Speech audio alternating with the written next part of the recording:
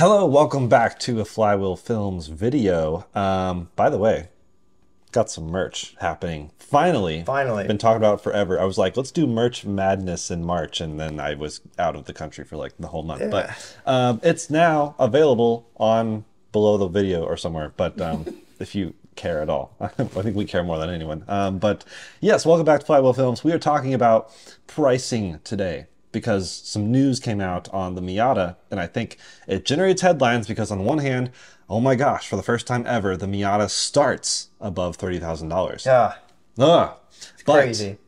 what some people don't think about is inflation. Inflation, yeah. And where has the Miata started previously adjusting for inflation? So how much effective money does it actually cost? And there's some interesting facts and figures in here. Austin actually did a podcast with Justin. podcast, yeah. So check out the Flywheel Film Show for an even deeper, longer dive on this kind of thing and just some fun that they had over there. But we wanted to at least do a quick video on just if you're in the market for an ND, you're thinking about buying a brand new Miata. Of course, we can always talk about the NC Miatas. I mean, actually, he might may or may not be looking at NC Miatas right now. But um, if you're not looking at the used market, like we live in the used market, um, we are going to talk about new stuff starting now.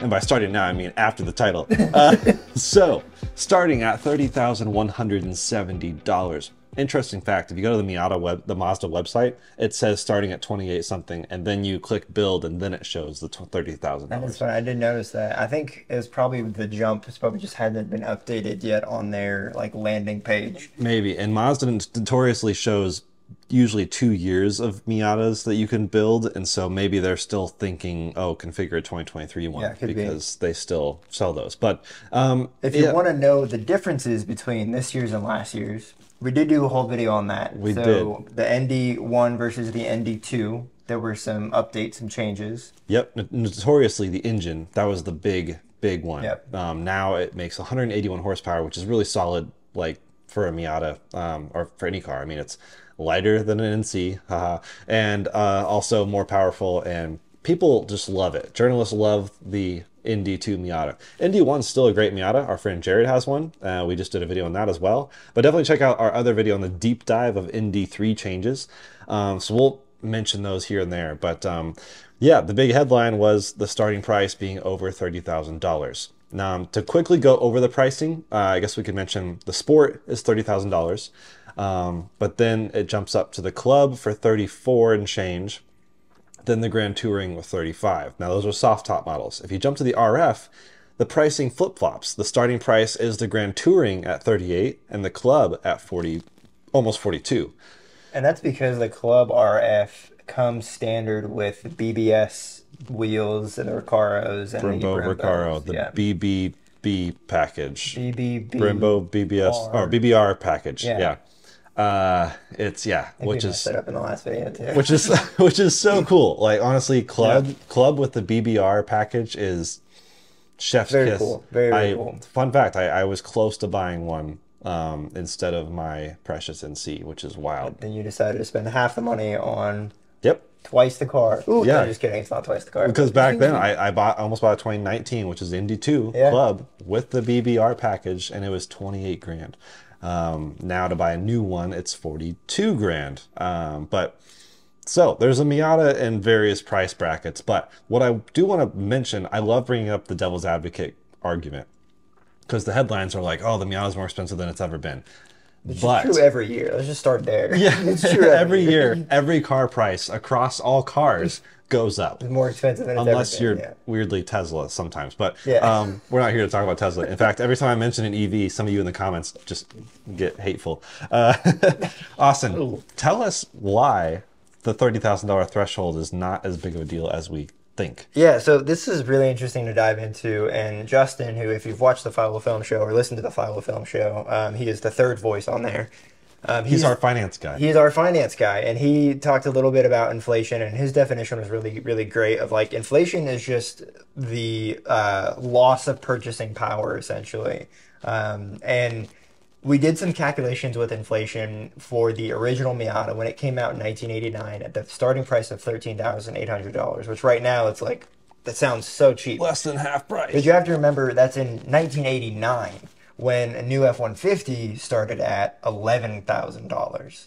Uh, so we did a whole comparison between those two. So if you're interested in that, like we said before, listen to that. But what's very very interesting is the starting price of 13.8 if you account for a uh, an average inflation of 2.6 percent a year. In today's money, that 13.8 is actually $32,700. So, So- effectively cheaper than, So- or sorry, more expensive than today's starting price. Yeah, it's like two grand more. So you're you're saving money if you buy a new Miata. And it's not just the base. It's not just the base model. Back then they had the SE starting at eighteen, It's like right around 18 grand. which in today's money is forty It's over five. 45. Yeah. So it, it's pretty crazy how in 1989 money the Miata was was pretty expensive. Yeah, I mean it. I'd say expensive, but actually comparable to today's pricing, just a little bit more than today's pricing. Yep. But not much more, just a little bit more. But I don't know. I, we, you know, we'd have to study more of the market of the other options that were available then. In today's world, the Miata is like one of a couple sports cars you can buy. I mean, really, its main competition is like BRZ, GR86, those kind of things, which are not convertibles. And so, if you want a convertible, it's kind of the Miata. Yeah. I mean, there's some other companies, but this like if you want a two seat, fairly raw sports car, this is pretty much it. Yeah. Uh, other competitors have come and gone, and I think it would be fun to do future episodes on just talking about the S2000, the GM vehicles, um, Solstice. Saturn Sky, Opel, Roadster, all those things, and um, that that'd be interesting to talk about and how they came and went. Yeah. Uh, the Miata has stuck around for now, yes, 35 years. In fact, Miata reunion in California this year, 35th anniversary. I'll be there. It's going to be epic. Be awesome. Um, you I might be there. you have six months to sign up. So, um, but yeah, the F one fifty thing though, that's interesting. Yeah, so we found that the F-150, because like very likely demand is the whole reason, but uh, in today's money, the F-150 should start at uh, around like twenty-seven thousand dollars, and you can't get an F-150 for under thirty-six, and that's just a basic XL work truck. Yeah. Um, so if you look at like the starting price of the Miata now in 2024, compared to some of the other vehicles that have uh, gr- have been around for the same amount of time, it's very interesting to kind of do that comparison to see, and not to mention the fact that you can spend ninety thousand dollars on a F one fifty. It's obscene. Yeah. It's absolutely like you could buy for the price of a F one fifty Platinum. You could buy a Miata and an F one fifty. You could buy an F one fifty and an F one fifty. Like it's it, it's insane. It is wild how much you can spec cars. I mean, I actually went just to have fun one time. I went on Porsche's website, Yeah. and I built a Taycan. The starting price was like ninety five thousand, and I built it to be two hundred and twenty thousand. I was like, I spent more on options than the actual car itself. You option nearly two Taycans to Taycan. like that's crazy. But that's a good point. So back in 1989, the Miata was more expensive than an F-150. Now the F-150 is more expensive than the Miata. I do think people's priorities have changed. Everyone thinks they need a truck now. Yeah. But I don't know. You don't necessarily need one. That's that's the point.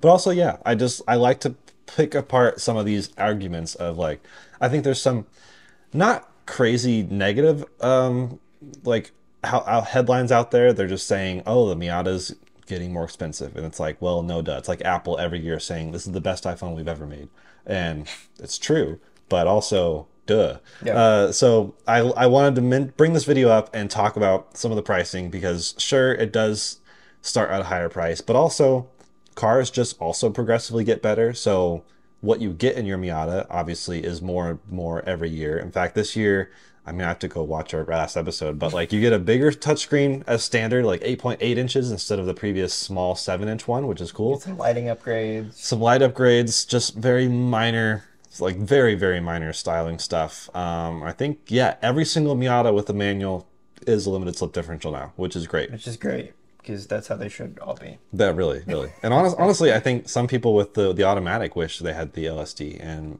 like I'm a weird automatic sympathist. Is that a word? Uh, Sympathizer? so yeah, Sympathy?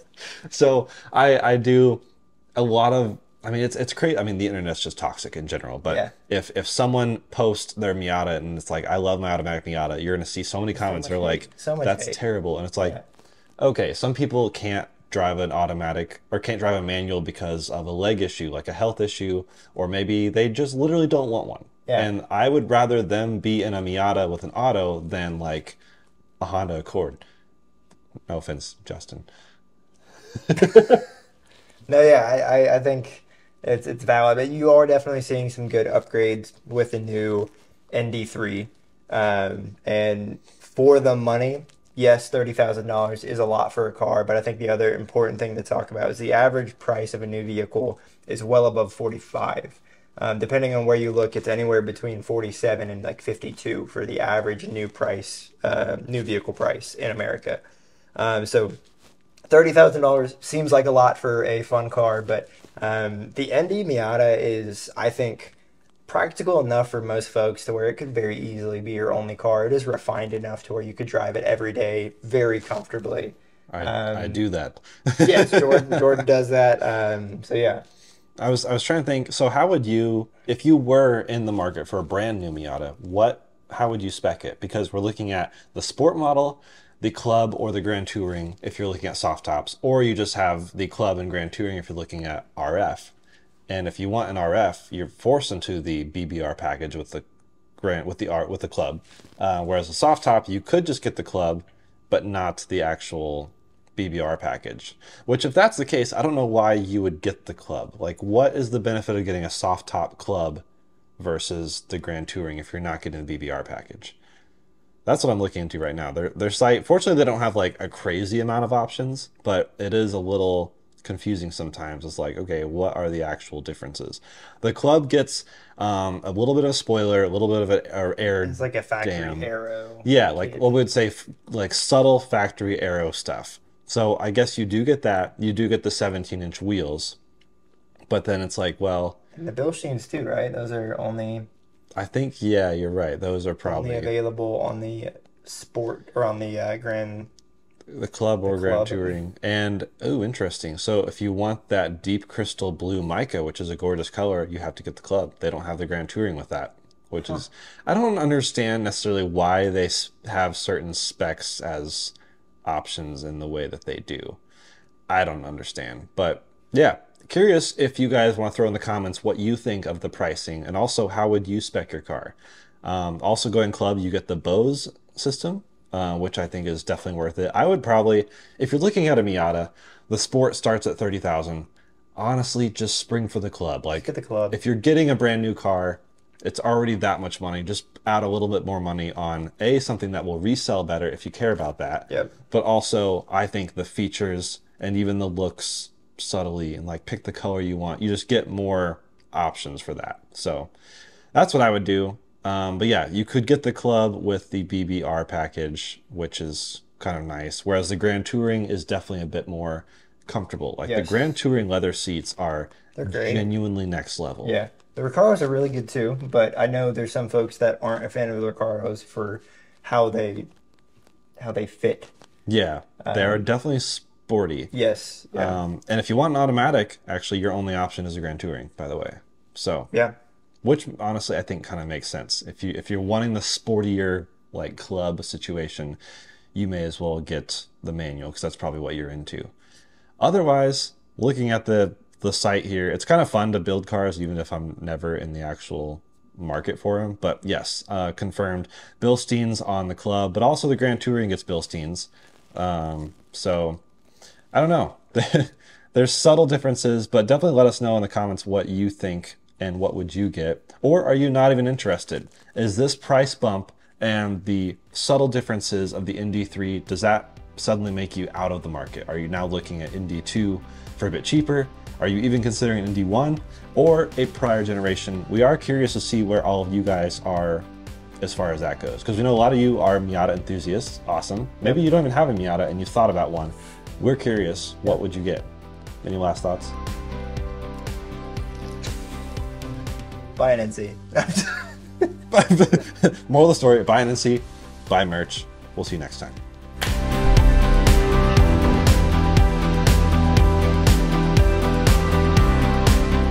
Why I clap? That's for the beginning. Uh. Sync the audio. Yeah.